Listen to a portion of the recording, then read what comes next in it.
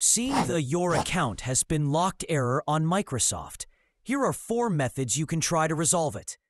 According to Microsoft, accounts may be locked if suspicious activity is detected that could go against their terms of use.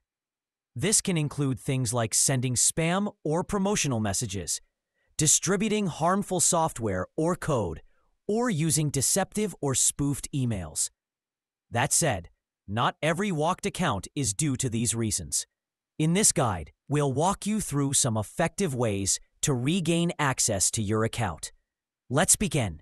Method 1. Start by unlocking your Microsoft account using a security code. This applies if you see a Next button within the error prompt window. Click on the Next button and enter a phone number to receive an online security code. You can use any phone number that can receive text messages. The number need not be associated with your Microsoft account. Then click on the Send Code link. You'll soon receive a security code. Enter the access code in the corresponding field. Make sure to enter the code in the message body, not in the header. Click on the Submit button to unlock your account. Method 2. This error can occur if your former employer had set up Office 365 on your personal device. Once you leave the company, your license is revoked, which means you can no longer use your work account to access Microsoft 365 apps on that device. However, the error may still show up if traces of your work account remain stored on your system. To resolve this, you'll need to manually uninstall Office completely from your device. You can also remove Office using the Microsoft Office Uninstaller tool. After uninstalling, reinstall Microsoft 365 on your Windows device.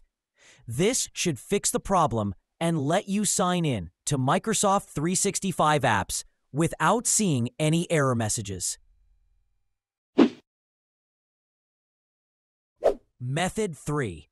If this error appears while signing in to Microsoft Azure or Microsoft 365, reach out to your organization's global admin to confirm whether your sign in is permitted. If not, ask them to reset your password or update your sign in status. If you are the admin, you'll need to contact the Azure Data Protection Team for assistance in unlocking the account for Azure AD accounts. You can also use the self-service password reset option to regain access without involving an administrator or help desk. Method 4.